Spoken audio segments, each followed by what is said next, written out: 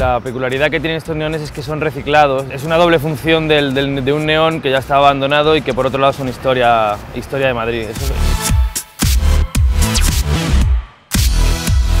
Unos enchufes grandes como si fueran de juguete, de modo que en el momento en el que tú los enchufas formas parte de, de, la conexión que te une al proyecto. Una metáfora de cómo se conecta un coche a la electricidad hablando de un coche eléctrico. Es el enchufe, es el futuro y es el espectador que, que aúna las, las dos acciones.